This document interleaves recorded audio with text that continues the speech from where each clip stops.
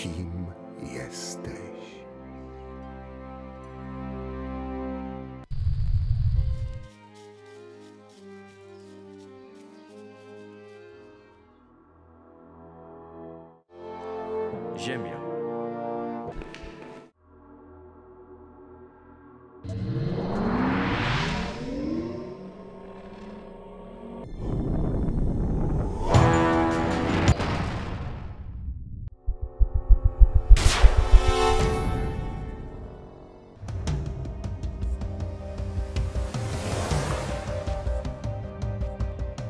Wystarczy tylko, że uznają nas za bóstwa, nadrzędne nad wszystkimi pozostałymi.